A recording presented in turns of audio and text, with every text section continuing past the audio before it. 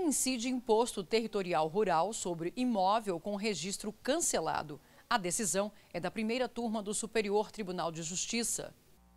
Quando o registro da propriedade rural foi cancelado por sentença transitada em julgado, não há incidência do Imposto Territorial Rural, o ITR. Para o colegiado, como o título reconhecido é nulo, não é possível cogitar a incidência do tributo, pois o fato gerador é inexistente. O entendimento foi definido no julgamento de um caso em que a escritura de compra e venda de duas propriedades rurais foram declaradas nulas por sentença já transitada em julgado, tendo em vista que as matrículas eram baseadas em documentação inexistente ou falsa.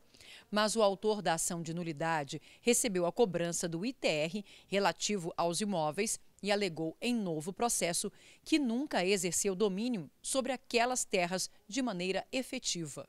O Tribunal Regional Federal da Terceira Região confirmou a sentença de primeira instância que julgou a ação improcedente.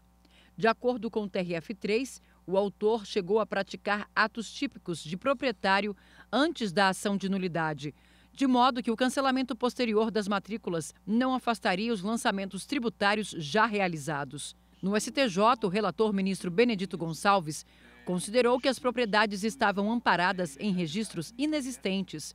Nesse sentido, o fato que justificaria o imposto simplesmente não existiu. Ele apontou ainda que, diferentemente do que entendeu o TRF3, o fato de os compradores terem oferecido as matrículas dos imóveis como garantia hipotecária não afasta a conclusão de que, com o cancelamento dos registros por sentença, o direito real sobre os bens não ocorreu de maneira concreta.